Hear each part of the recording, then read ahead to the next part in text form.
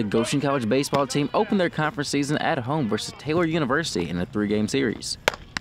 In game one on Friday, the Maple Leafs fell in defeat, but on Saturday it was a whole new ball club as the Maple Leafs won both games of the doubleheader.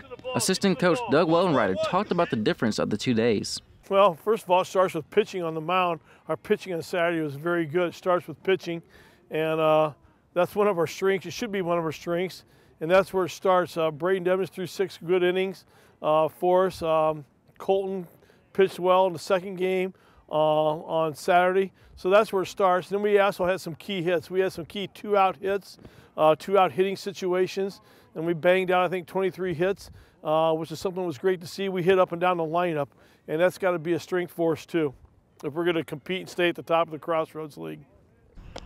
Senior Braedon Evans adds input about making big plays at the right time.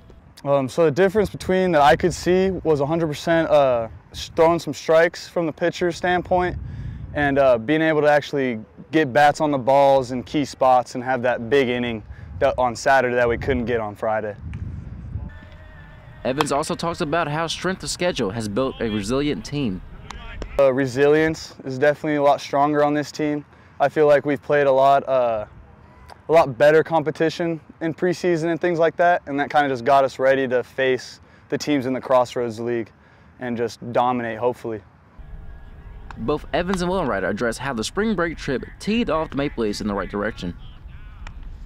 Uh, this year, especially, we've faced a lot of uh, adversity in the teams we've played, and we've had to face adversity ourselves.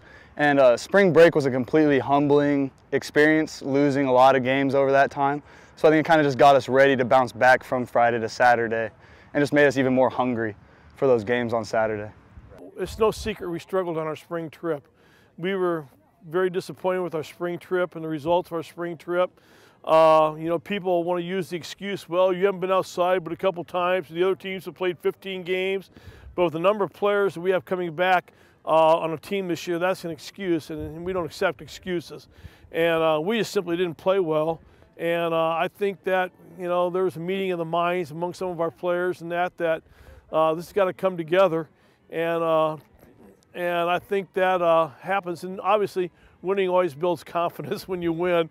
You lose, you learn lessons when you lose, but when you win, it tends to build a little bit more confidence, especially when you do it against a good team like Taylor.